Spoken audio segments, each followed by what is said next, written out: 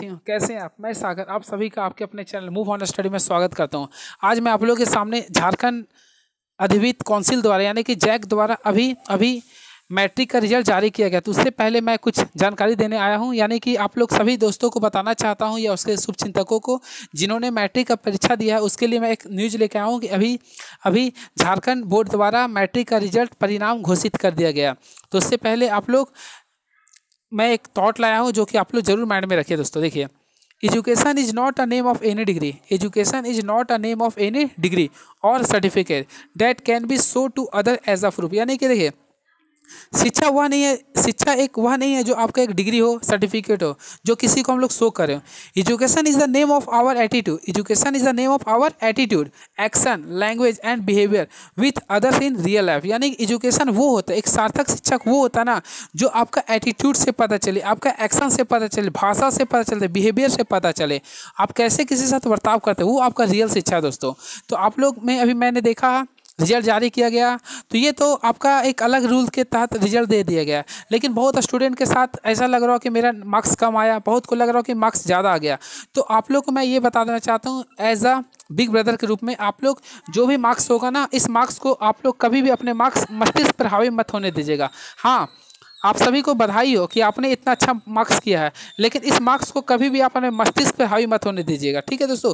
क्योंकि आपको जीवन में भी और आगे बढ़ना है और आप इस चीज़ को नंबर को नेगलेक्ट कर कर दीजिएगा। मैं आगे बोल रहा हूँ, क्योंकि नंबर से आपको नॉलेज को आंका नहीं जा सकता है, ठीक है? ये केवल एक कागज़ का टुकड़ा है, लेकिन आप किसी के लिए, आप अपने गार्जियन के लिए एक जिगर का टुकड़ा है। इसलिए आप कभी भी इस चीज़ को अपने मस्तिष्क को मत रखिएगा और कभी भी जिसका नंबर कम आया, ज़्यादा आया है अपने माइंड पे इस चीज़ को मत लीजिएगा। बस इसी चीज़ के लिए मैं लाया था, क्योंकि मैंने अभी देखा, अभी बहुत स्टूडेंट को थोड़ा सा डिमोटिवेट हो रहा है, कोई डिप्रेशन का शिकार हो जाता है, ऐसा नहीं होना चाहिए दोस्तों, ठीक है?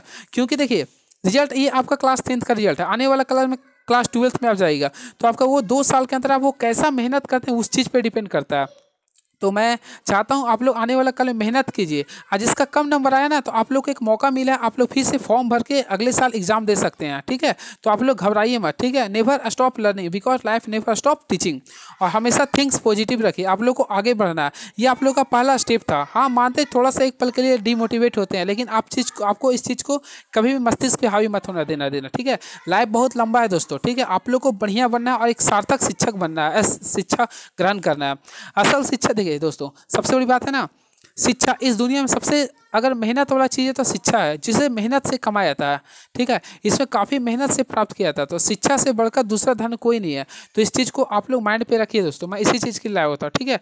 रुके मैं एक हाँ दोस्तों, देखिए, एक मैं थॉट लेके आया हूँ, आज आप लोगों के सामने, पहली बार लेके आया हूँ। देखिए, आज का सुविचार ग्रुप से।